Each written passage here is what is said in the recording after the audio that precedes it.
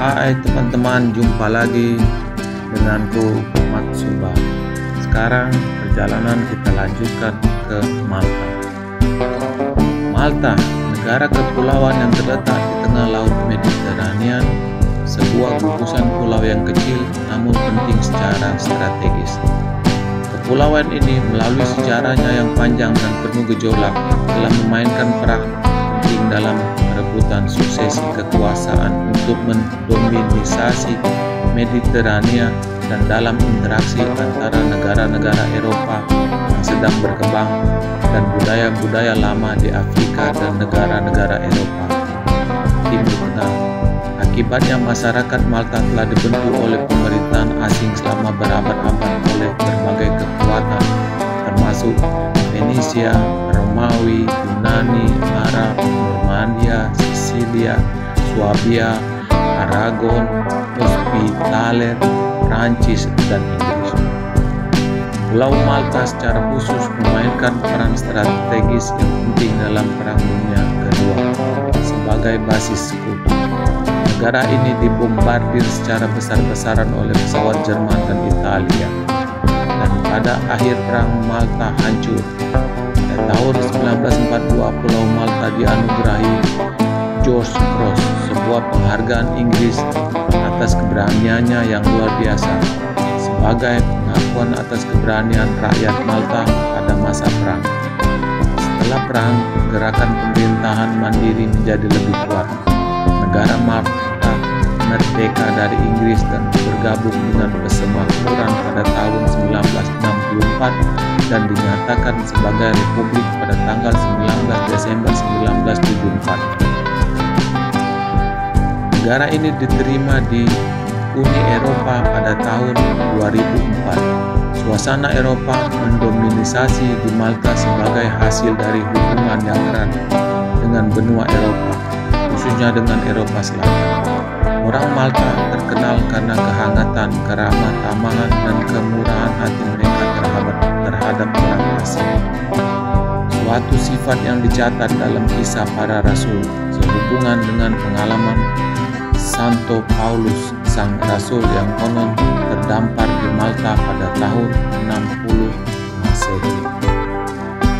Sekarang marilah kita lihat cuplikan-cuplikan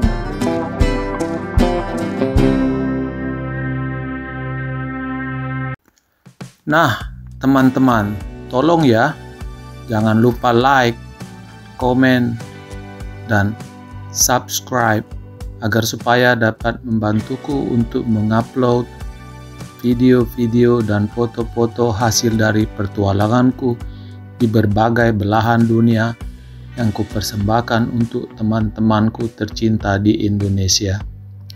Makasih sekali lagi ya yang setulus-tulusnya dariku untuk like, komen, dan subscribe-nya ya.